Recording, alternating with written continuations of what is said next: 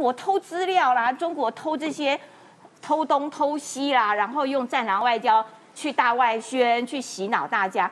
所以这件事情其实很多的呃这个做法，他们也在进行这个大内宣，而且大内宣的最重要的宗旨就是中国国家的力量是万能的，你们必须心向中国，不能有二心。那为什么要特别讲这件事情？就是因为你知道中国最近有一部片子，它叫做《独行月球》，哎，是一部这个科幻大片，哎，是一部科技片。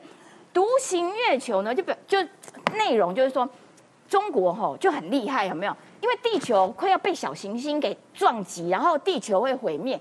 这个时候呢，中国的太空人就科学家就组成了一个救援地球小组，然后这个救援地球小组呢，就如何努力努力去拯救了整颗地球。所以 全球的五五十几亿人口全部都因为中国很棒棒，好厉害。所以得以存活下来，那结果呢？这部这个科幻大片上片了之后呢？哇！中国媒体就说：“天哪，这实在是卖太好啦！第一天就卖做多少多少亿啦！哇，这个票房领先全球啦！然后票房比过去之前又刷新了怎样怎样的记录啦。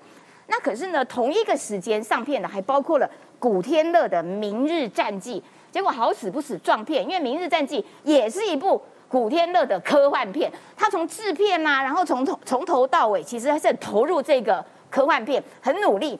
然后结果呢，就说：“哎呀，古天乐啊，这个科幻片撞片，没有人要看你这个《明日战记》，大家都要看中国好棒棒的《独行月球拯救地球》。然后所以古天乐的票房啊，好差好差好差哦，卖了几天之后，只只有一点二亿。然后还传出来说啊，古天乐因为这个票房不好啊。”还拭泪在镜头前，还说他颜值崩坏啊，什么脸部很塑胶，对对对，该不会也是中国政府对，然后就说什么哇，说真真面目示人，结果大家都惊呆了等等的。后来结果事情发现，真相是如何？真相是中国偷了古天乐的票房，怎么偷呢？就是说各个电影院哈，他就卖票，然后你今天观众来卖票，其实你要看的是古天乐的这个《明日战记》，但是他就。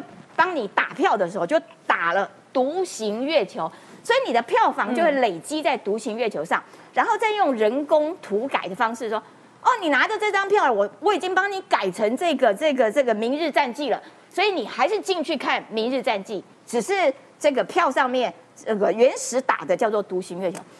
哎，用这种人工涂改的偷票房的方式啊，你这样子一偷，不是就摆明了对？那所以《明日战记》其实票房很好。”你中国好棒棒的《独行月球》其实票房没那么好，嗯，然后可是呢，你就要透过这样子的作假的方式，然后来对人民洗脑说，你看中国真的好棒棒，都可以拯救地球，真的无耻透顶了。